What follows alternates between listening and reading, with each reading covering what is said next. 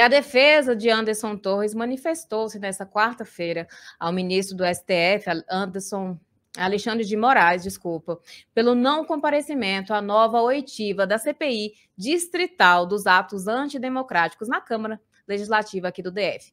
A oitiva está marcada para o dia 23. Essa é a terceira vez que a comissão agenda uma data para ouvir o ex-secretário de Segurança do DF. E o advogado dele, o Rodrigo Roca, alegou que, apesar de não ter sido intimado sobre a nova data do depoimento, até o momento o Anderson Torres não tem interesse em comparecer, por entender que não teria mais nada a acrescentar além do que foi declarado à Polícia Judicial no, no oitiva que durou aproximadamente 10 horas e, portanto, seria inútil essa, esse depoimento à CPI distrital dos atos antidemocráticos. O deputado Chico Vigilante divulgou no dia 9 de março um vídeo dizendo que a comissão vai insistir no depoimento de Anderson Torres. A gente tem um vídeo para vocês. Olha, nós vamos ouvir no dia de hoje a doutora Marília, ela era subsecretária da Inteligência da Secretaria de Segurança Pública do Distrito Federal.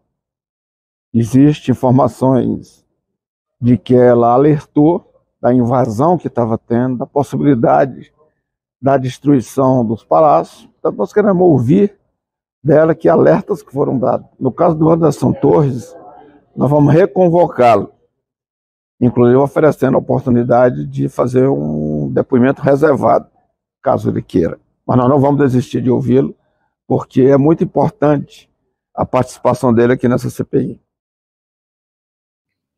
A gente tem percebido que o Anderson Torres se mostra favorável a algumas oitivas. Ele, inclusive, se apresentou à oitiva do Tribunal Superior Eleitoral para falar também sobre o assunto e também falar sobre as minutas que foram encontradas na residência dele, que seria uma possível minuta de golpe.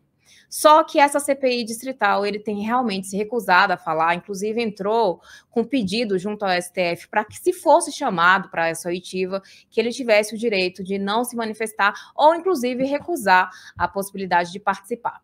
O ministro Alexandre de Moraes acatou o pedido feito pela defesa do Anderson Torres, uh, que permite que ele não participe ou caso venha participar, que ele se mantenha em silêncio e que não preste mais nenhum depoimento adicional, além do que já foi feito à Polícia Federal no, no oitiva que durou aproximadamente 10 horas.